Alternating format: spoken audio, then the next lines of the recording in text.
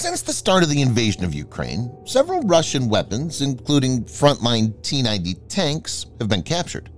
But this is not a one-way street. Several Western platforms have also fallen into Russian hands. Moscow will reverse engineer Western technologies its forces have captured in Ukraine, according to Russian state media.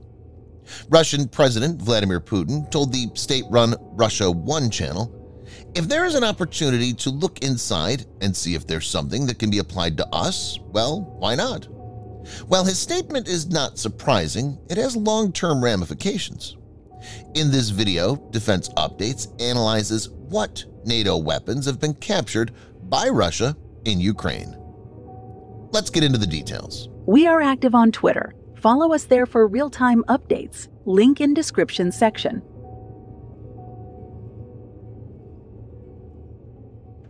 The FGM-148 Javelin is an American, man-portable, fire-and-forget anti-tank missile fielded to replace the M47 Dragon anti-tank missile in U.S. service.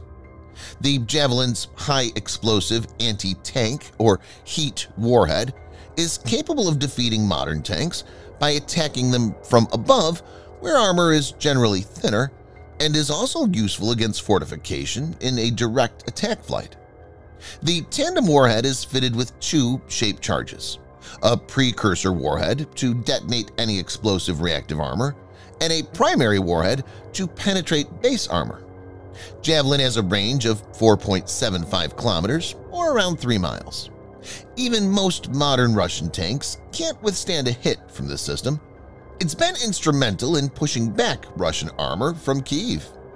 Several captured Javelin are now in Russian custody.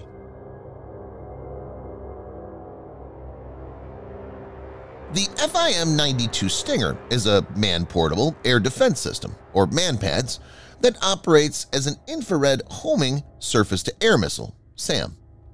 Developed in the United States, it entered service in 1981 and is used by the militaries of the United States and 29 other countries. It has a targeting range of up to 4.8 kilometers or 3 miles and can engage low-altitude enemy threats at up to 3.8 kilometers or 2.35 miles. Stinger was one of the first weapons that the United States transferred to Ukraine, and it's been used to knock out several types of Russian aerial assets, including low-flying combat jets. Russian troops have captured several examples of Stinger and have sent it back to Russia for reverse engineering. NLAW, or Next Generation Light Anti-Tank Weapon, is a joint venture between Sweden and the United Kingdom. NLAW has an effective range of 20 meters to 600 meters and has a soft launch system, allowing it to be used by infantry from within an enclosed space. This is what made it a very effective weapon for Ukrainians who used hit-and-run tactics against Russian armor. Guidance is obtained using a predicted line of sight PLOS. It has both overfly top attack OTA and direct attack DA mode. The missile has an active magnetic and optical sensor-activated proximity fuse. The sensor data is analyzed to match the known relevant target criteria before warhead initiation.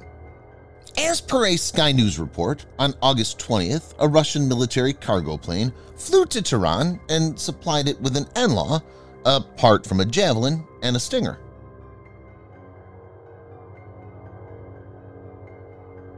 The Bradley Infantry Fighting Vehicle is an armored vehicle that's capable of transporting troops on the battlefield and providing fire support, as well as reconnaissance missions.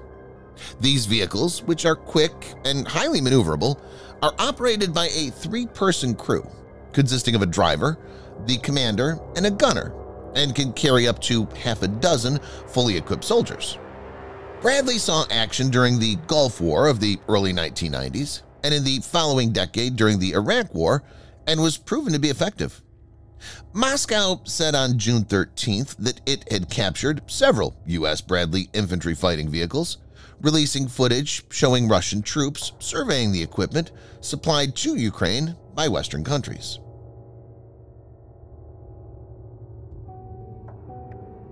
M777 Towed Howitzer is a towed 155mm artillery piece. Made of titanium, weighing under 4,100 kilograms or 9,000 pounds, it's lighter than any other 155mm howitzer. Importantly, it's fitted with the General Dynamics Armament Systems Towed Artillery Digitization or TAD system. The TAD Digital Fire Control System provides onboard ballistic computation, navigation, pointing, and self-location, providing greater accuracy and faster reaction times. It also includes a laser ignition system, electric drives for the howitzer's traverse and elevation, and a powered projectile rammer.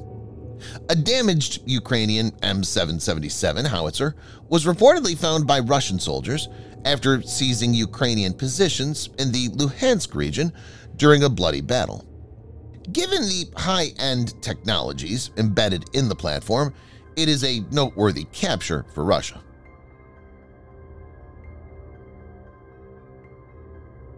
The M142 High Mobility Artillery Rocket System, or HIMARS, is a light multiple rocket launcher developed in the late 1990s for the United States Army, mounted on a standard Army M1140 truck frame. Since its initial introduction, it's undergone many updates to improve accuracy and reliability. It has one universal pod that can accommodate six unguided or guided missiles of 227mm caliber or one MGM-140 Army TACMS with a diameter of 610 millimeters. HIMARS has undeniably been one of the most impactful weapons the U.S. has provided to Ukraine. It's been used to blow up Russian ammunition depots, command and control centers, bridges, and even air defenses. Targets that were beyond the Ukrainian strike envelope earlier were decimated with HIMARS. Russia seems to have captured an intact rocket of the HIMARS as per some social media posts, which they claim is now being examined to find its weaknesses.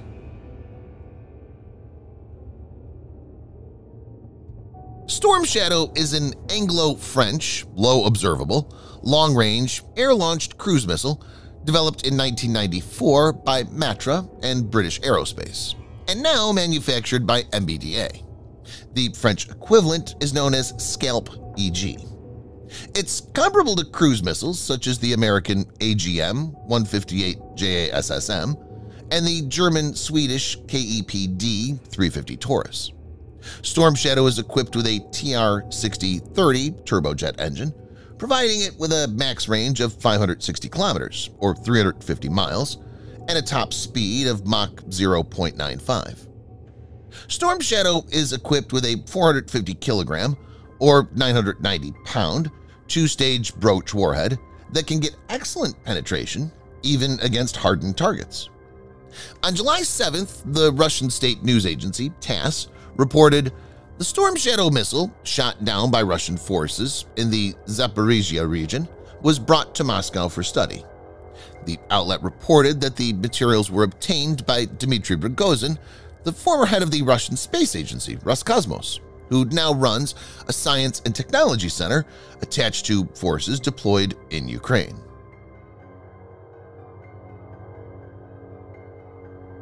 Leopard 2 is widely considered to be the best MBT in the world.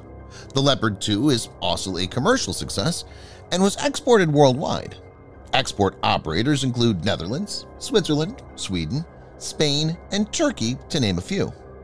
German leadership has been hesitant from the start about providing the main battle tank to Ukraine, but it relented after pressure from Ukraine and the U.S.